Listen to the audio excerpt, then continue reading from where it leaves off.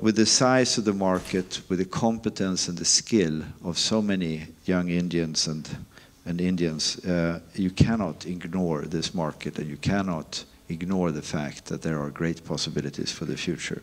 I think the main problem with, with India and Sweden is lack of knowledge.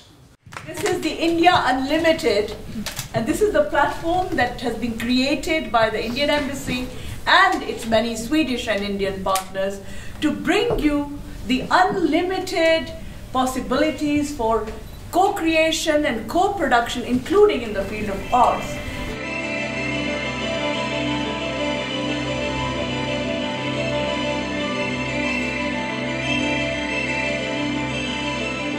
There was no need to be so depressed, just as there was no need to be so euphoric when things were growing at 8.5%. And that, in fact, this is a much longer story, and we'll have periods of ups and downs, and you know, that's natural in an economy that is going to grow over the next 50 years. When I came to India, which was 1st of February last year, Scania in India was 50 people. Today we are 300, and when we come to the end of this year, we will be 600.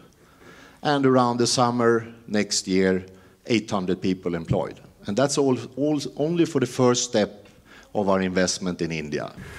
Whereas India, on its hand, has a large, of course, a large market, we've talked about that, but also a large number of very highly qualified, and as Anders Grönström pointed out, English speaking, which of course helps, uh, scientists and engineers.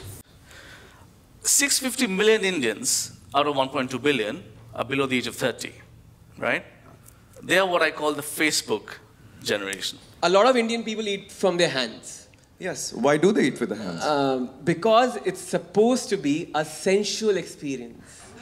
So we not only uh, we not only smell, look at a food, or taste it, we feel it because we touch it. My dream for India 2025 is to go into the future by taking our valuable past reimagined for the present. That's really all I have to say. In a developing country like India, tourism can be the biggest game changer in economy. The Seven Sisters region in the northeast of India, an untouched area. So let's all go together.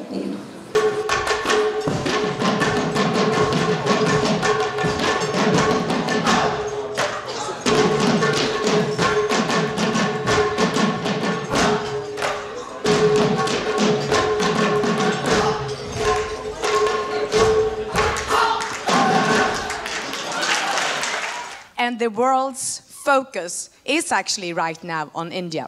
If you meet the operators in Sweden and you ask how many customers do you have, all of them say like, yeah, 300,000 or 1 million, 1.5 million. When you go to India, everyone says plus 100 million. It's like crazy.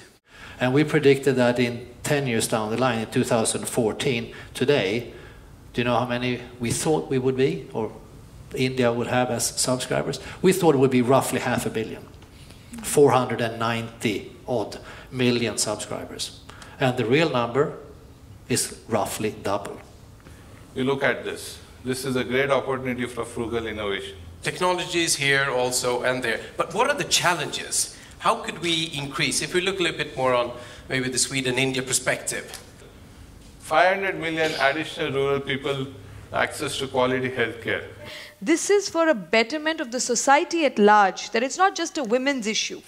And therefore, I think both have to be in partnership. Inspiring the next generation to continue uh, with all the innovation that is so closely linked to the Nobel Prizes and so closely linked to, to everything we, we are talking about today. By using the wood in a, in a wise way, we can substitute oil. To sell the idea to every city that you create a platform for collaboration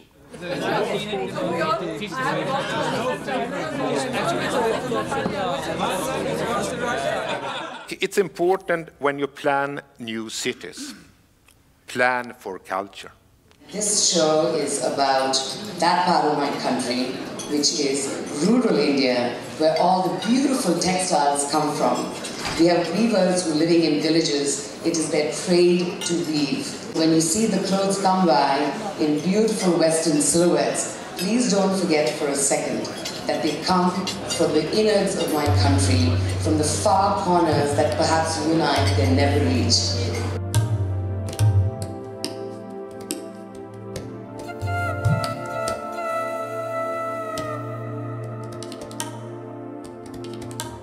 There's so much more to learn from India, uh, which I've been happily doing since I met my husband, actually, who is of Indian origin. That is why the family name Bhatta. And that is also, of course, the start of a beautiful friendship between our countries. I'm very hopeful, but then I'm always an optimist. And as uh, Sanju and I coined a word together today, I think we are, we are full of optimation, optimism and determination. We'd love if all of you can come there, and I promise you food which is equally good as this. Thank you.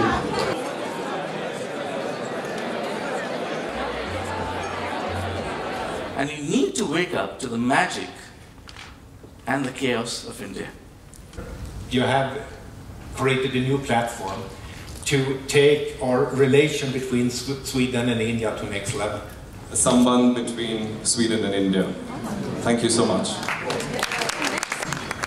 Drive is a magnet. And what we can do is be the whirlwind around that drive.